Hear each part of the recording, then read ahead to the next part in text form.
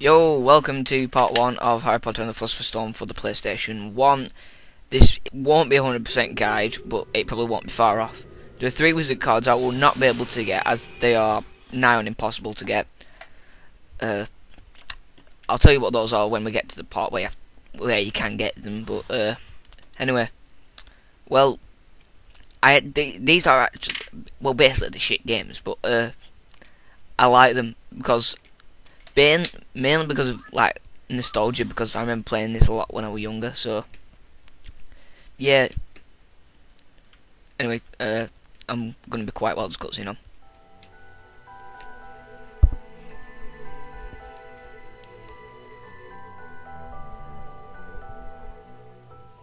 There was nothing about the starry sky that night to suggest that strange and mysterious things would soon be happening.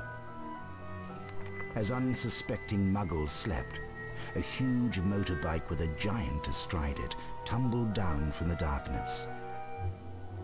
The giant, named Hagrid, left a blanket-wrapped bundle on the doorstep of number 4 Privet Drive. Nestled in the bundle was a baby, Harry Potter, the boy who lived. For the next 11 years, Harry lived with his dreadful step-parents, the Dursleys. Until that fateful day, when he received the letter inviting him to attend Hogwarts School of Witchcraft and Wizardry. Hagrid took Harry to Diagon Alley to purchase a most unusual list of school supplies.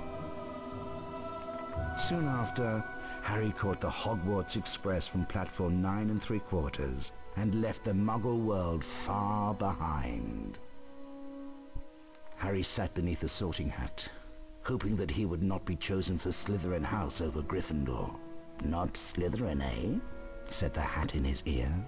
You could be great. It's all here in your head, and Slytherin will help you on your way to greatness. No? Well, if you're sure, better be Gryffindor!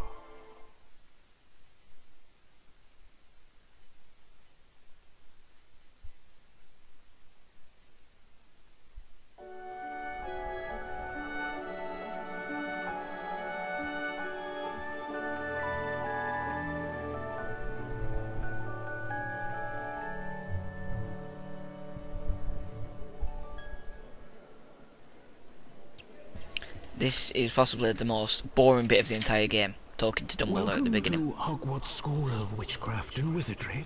I am Albus Dumbledore, your headmaster.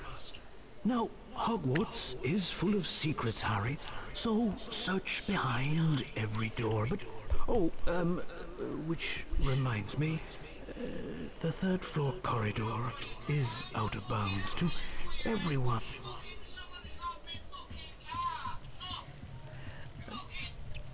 Alright, I'm back now. Um, after some boring cutscene bit. Um, uh, so yeah. Skids. By the look of that scar, you must be Harry Potter. I'm Fred Weasley, and this is my brother, George. Hello there, Harry. We have a proposal for you. In Proposal of marriage. There are special portraits, and behind these special portraits are prizes. But of course, not just any. If you bring us earwax every flavour beans, we'll, t we'll be in the Gryffindor common room, which is through the portrait of the fat lady. See you around, Harry. And now we're gonna get the first wizard card that you can possibly get in this secret passage here.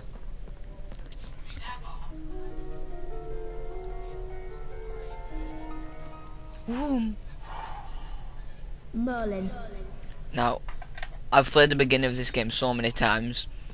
I actually know the entire dialogue of this first few minutes, this first five minutes basically. Well, see, the graphics are so glitchy, which was I was trying to show Tom this at the time how ah, gl glitchy the graph, graph how glitchy the graphics are in this game. So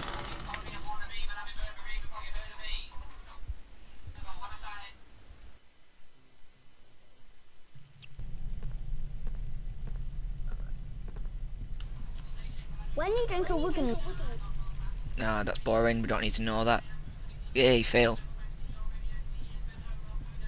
If you lose any stamina, grab a chocolate frog will give you back some energy.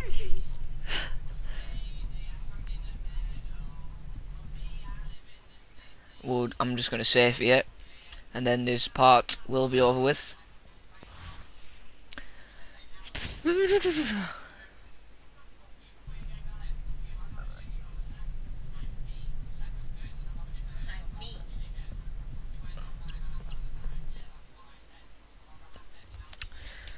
So, anyway, that's the end of part one. Uh, this is only a short part, just basically an introductory part to the fundamentals of the game. So.